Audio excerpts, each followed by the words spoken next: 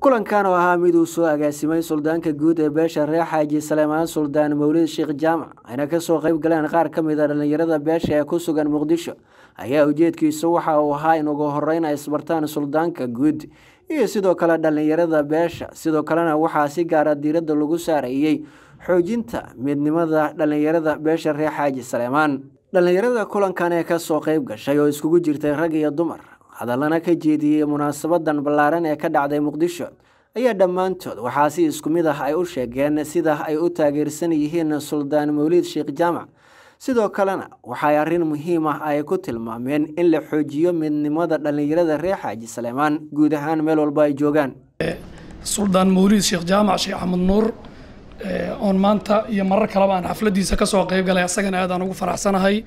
Waxaan rabaa inaan keliya hal iyo laba dhallinyarada ku gubaabiyo ilaahay baa mahad iskale.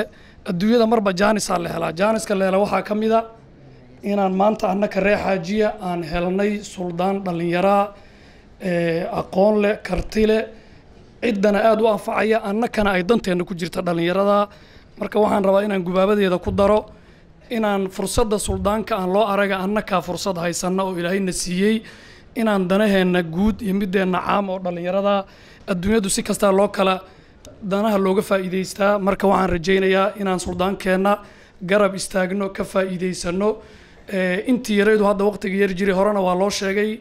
Dadka xoogaalkaabaan ku jiraa waxyaabo badan oo uu qabtay suldaanku oon ka faa'iidaysanay ayaa jira. Alxamdulilah ilaah baa mahad iskale jala jalaaluhu. Dhalinyaro aada u fara badan oo saleybaan ah oo ka soo qayb galay yeeritaankii suldaanku uu u yeelay aad baan u bogaadinhayaa. Dhalinyarada ilaahay fadligiisa wuxuu siiyey suldaan dhalinyaro la ah fahmaya tabashooyinkooda iyo waxa ay maaragtay ay qabaan. Waxaan maaragtay codsanayaa in suldaanka lala shaqeeyo la bogaadiyo yeeritaanadiisa laga soo laga soo ajiibo oo la aqbalo dhammaan bulshada reer xaaji saleebaanna waxaan maaragtay ugu yeerahayaa kuna bogaadinayaa inay ka shaqeeyaan midnimada beesha reer xaaji saleebaan marka koowaad waxaan u mahad celinayaa suldaan mawliid sheekh jaamac suldaan axmed nuur. Oo xafladan soo qabaqaabiyey si ay dhalinyarada midnimo iyo horumar u gaaraan.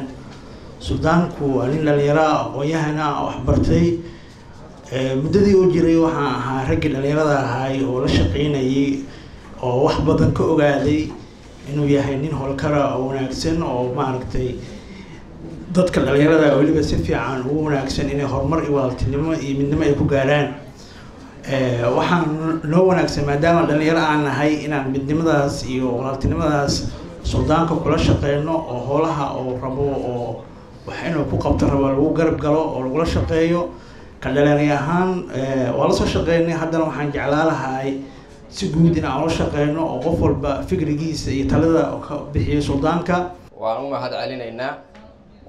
Waxaan kaloo rabaa inaan u mahad celiyo suldaan mawliid suldaan sheekh jaamac suldaan axmed nuur cali guuleed oo run ahaantii muujiyey sumad wanaagsan oo horay aysan u lahayn qabiilkan aan ka dhalanay oo dhaqan waayahan dambe muujiya oo dhallinyarada ku dhex jira oo xaqiiqatan maaragtay baahiyaha gaarka ah iyo dadka uu matelo intaba u dhex muuj dhex muujiyay inuu maaragtay baahiyahooda inta u safro safar dheer galo ka soo shaqeeyo biyo soo dhaamiyo xaqiiqatan weli ma aanaan arag ani garaadkayga. Inta meesha joogtaahi in iga yar iyo in ila eg ay meesha ku fadhiyaan xaqiiqatan ma aanaan arag suldaanka guud ee beesha reer xaaji saleemaan suldaan mawlid sheekh jaamac oo ugu dambeyntii gabagabadii shirka soo xiray islamarkaana hadal ka jeediyay munaasabadda ayaa dhallinyarada waxa uu kaga mahad celiyey taageerada muhiimka ah ee ay la garab taagan yihiin.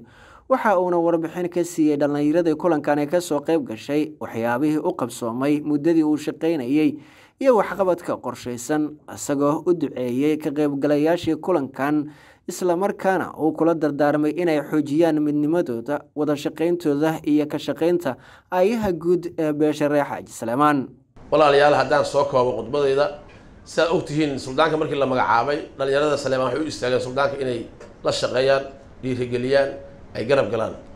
Saa ogtihiin suldaanka markii la magacaabay dhalinyarada beesha reer xaaji saleemaan waa tii guri weyn kareeyeen qalabeeyeen suldaanka ay garab istaageen beelihii ama juufooyinkii saleebaan hadday yihiin odayaasha dhaqankii dhallinyaradiina aanu wacnay qolo walbana aanu kala hadalnay midnimada iyo horumarka beesha reexa saleebaan markii aanu aanu wareegaas u noo soo dhammaadayna ilaahay wuxuu inoo fududeeyey inaynu safarkii aan gobolka ku aadnay aanu ku dhaqaaqno iyadoo suldaanka dhaqaalihii uu ku baxay iyo safarkii uu aaday ay dhalinyarada beesha reexa saleebaan ay bixiyeen inta u badan. Dhalinyaradana ilaa iyo tobaneeyo dhalinyarana ay suldaanka ay raaceen safarkaasna galguduud iyo mudug gobolka mudug iyo galguduud ama galmudug